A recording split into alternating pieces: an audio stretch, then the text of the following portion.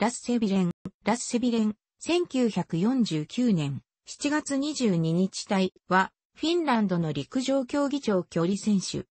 1972年ミュンヘンオリンピック、1976年モントリオールオリンピックで共に男子5000メートル、1万メートルで2種目に大会、連続の金メダル獲得を達成した。またモントリオールオリンピックではマラソンにも出場し、1952年ヘルシンキオリンピックのエミール・ザトペック以来の長距離三冠を指したが5位に終わり、達成はならなかった。ビレンは1920年代に、ハンネス・コーレマイネン、パーボヌルミ、ビレリトララが作り上げた、フライングフィンの人物像を再現。1972年と1976年に、フィンランド年間最優秀スポーツ選手に選ばれた。1999年から2007年まで、及び2010年から2011年まで、フィンランド議会の議員を務めた。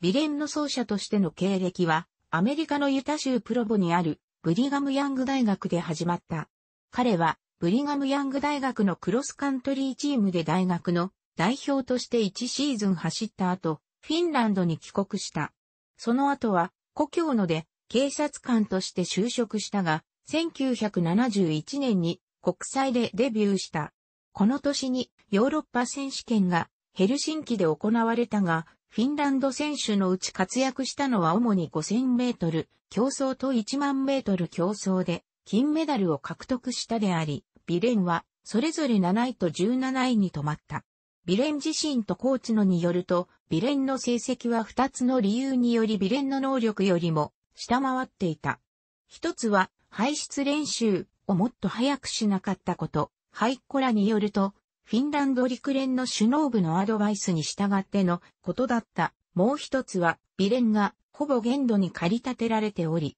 5000メートル競争の決勝戦では、最後の一周が始まる頃に危うく倒れるとこだった。排出練習とは、走者が完全に疲労してエネルギーを使い果たす、エネルギーを排出までトレーニングで限度に駆り立てることであり、そうすることで体が再び大量にエネルギーを取り入れられるようになり、これまでの最良の成績を再度出せるようになる。ビレンは、ヨーロッパ選手権の直後、バータイネンが5000メートル競争で作ったばかりのフィンランド記録を更新した。ケニアので厳しい訓練を受けた後、1972年夏にヘルシンキで行われた競争において、イギリスとスペインを下して勝利、2マイル競争の世界記録を作った。その後、ビレンワとして1972年ミュンヘンオリンピックに参加した。ミュンヘンで行われた1972年のオリンピックでは5000メートル競争と1万メートル競争の金メダルを獲得した。9月3日に行われた1万メートル競争の決勝戦では12周目にベルギー選手エミル・プッテマンスともつれ合って転倒したにもかかわらず、ロン・クラークが7年間保持したを更新した。ビレンとプッテマンスの他には、チュニジアのモハメド・ガムーティ選手もビレンの足にちて転倒した。転倒したことによりビレンは先頭集団と20メートル離れてしまったが、彼は150メートル以内に先頭に追いついた。その後、24周目になって残りが600メートルしかないところ、彼はラストスパートをかけて他を引き離し、プッテマンスのみがついていけて2着でゴールした。ビレンは27分38.40秒でゴール、ミュンヘンオリンピアシュタディオンの記録となった。彼は1回のオリンピックで5000メートルと1万メートル競争を同時に勝利した4人目の選手であり、それ以前はフィンランド選手、ハンネス・コーレマイネンが1912年にチェコスロバキア選手、エミール・ザトペクが1952年に、ソ連選手、ウラジミール・クーツが1956年に達成しており、ビレンの後は、エチオピア選手、ミルツイフターが1980年に、同じエチオピア選手、ケネニ・サベケレが2008年に、イギリス選手、モハメド・ファラーが2012年と2016年に達成した。しかし、1万メートル競争の予選も走らなければならなかったのは、コーレマイネン、ビレント・イフターの3人だけだった。1週間後の5000メートル競争では、最後の4周で、ガムーディ、プッテマンス、イアン・スチュワートと共に戦闘集団を形成していたが、残り110から120メートルのところでガムーディを追い越して13分26.4秒でゴール、ガムーディとは1秒差となった。その4日後、湿っぽく寒い上に、風の強い天気の中、ビレンはヘルシンキオリンピックスタジアムで5000メートルを13分16.4秒で走り終わり世界記録を作った。その6日後、プッテマンスがさらに3秒短くした。ビレンがオリンピックで優勝できた要因、特に1972年オリンピックの5000メートルと1万メートル競争で優勝できた要因はあまり注目を受けていない。その要因とは、ビレンがほぼすべての曲がりで、第1レーンの内側の円を走っており、合計でライバルたちと比べて数十メートル少なく走ったことである。具体的には5000メートル競争では、ブリフォンテーンがビレンよりも40メートル以上多く、1万メートル競争では、プッテマンスがビレンよりも50メートル以上多く走った。二人とも第1レーンの外側の円、または第2レーンを通ったのが原因だった。この総距離を減らすテクニックは曲がり、カーブの数学と呼ばれている。ビレンはオリンピック以外の時期で走ることがオリンピックの時期よりも少ない。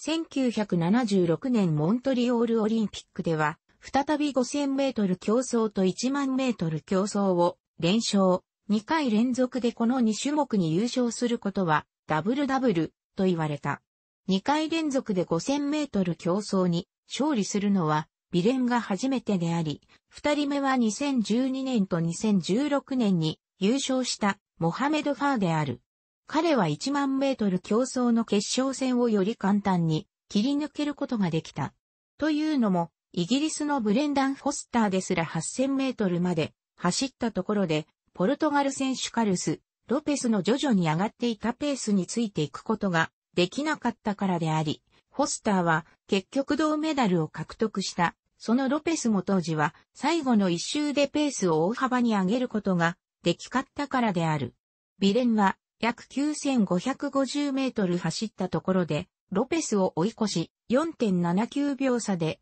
ロペスに勝利した。モントリオール五輪で1万メートル競争に優勝した後、ビレンは自身のアシックス参加のランスパークを脱いでそれを観客に向けて振った。国際オリンピック委員会 IOC はビレンが靴の虎柄を見せたいなど前から無目的があると疑ったが、ビレンは水ぶくれができていたからだと主張した。IOC は5000メートル競争の決勝戦からビレンを締め出したが、ビレンは控訴して決勝戦の2時間前に参加の許可を得た。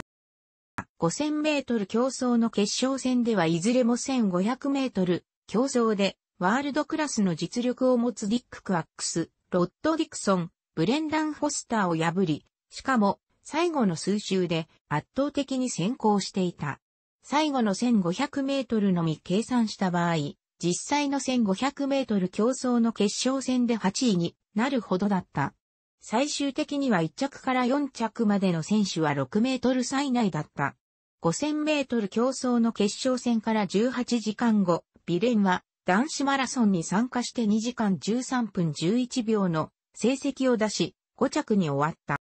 ビレンは1980年モスクワオリンピックで運動選手の生涯に終止符を打った。1万メートル競争で5着に終わった。1万メートル競争の予選では28分45秒という成績しか出せず失望され、しかも4着だったため本来ならば、成績が最も良い予選落ちとして予選を通過するはずだったが、アイルランド選手ジョン・トレーシーがで倒れてしまったため、予選落ちの選手のうち成績が最も良いビレンが、繰り上げで予選を通過した。彼は、先頭集団に圧力をかけ続けて、あと300メートルのところで、ミルツ・イフターのラストスパートに敗れた。イフターは、金メダルを獲得した。一部ではもし、ビレンはマラソン風のトレーニングを減らしていたらより良い成績を出せたはずだという主張があったが、ビレン自身はオリンピック直前に足を怪我していなければより良い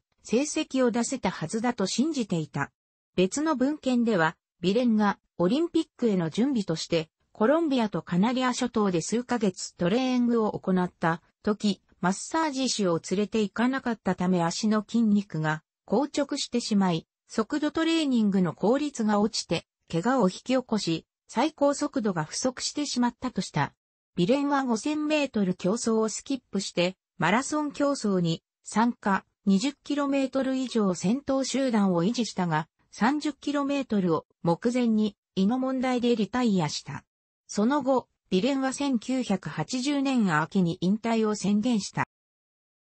1974年初に足の複雑な手術を行った後で、イギリス選手ブレンダン・フォスターの後陣を排して13分24.57秒の成績で銅メダルを獲得した。その2日後、ヘルシンキでの競争では13分26秒の成績を出して、スウェーデン選手、アンデルス・ヤーデルードを下して勝利した。さらに3日後には、ロンドンのクリスタルパレスでの2マイル競争でビ、フォスターと競争した。今度もフォスターが勝利、ビレンは2着の選手より0.06秒遅いだけだったが4着に終わった。ビレンは1974年に1万メートル競争の生涯最高成績を出しており、この年の9月21日にフィンランド対ソビエト連邦の対抗戦で28分22.6秒の好成績を出して優勝した。ビレンはオリンピック以外の競争で2マイルと5000メートル、競争の世界記録を更新した。2マイルは1972年8月14日に8分14.0秒を記録。5000メートルは1972年9月14日に13分16.4秒を記録しており、両方とも1972年オリンピックの前後のことだった。ビレンはオリンピックがない年には5000メートル競争で常に13分36秒以下の成績を出しており、13分30秒以下の成績を出す時もあった。一方、1万メートル競争の成績が28分を下回ったのはオリンピックがある年だけだった。1979年、ビレンはニュージーランドで陸上競技選手権大会に参加しつつ1980年のオリンピックへの準備を進めた。1977年にフィンランドの彫刻家へのが始めた後にラッセビレン 20K として知られたはカリフォルニア州マリブ近くのの一部であるで行われた年次の路外競争大会であり、2012年まで行われている。選手障害が終わった以降、フィンランドで知名度のある人物になり、国民連合党の一員としてフィンランド議会で1999年から2007年、及び2010年から2011年まで議員を務めた。ビレンは2011年の選挙では出馬しなかった。2014年、ビレンは国際陸上競技連盟の陸上伝道に入選した。楽しくご覧になりましたら、購読と良いです。クリックしてください。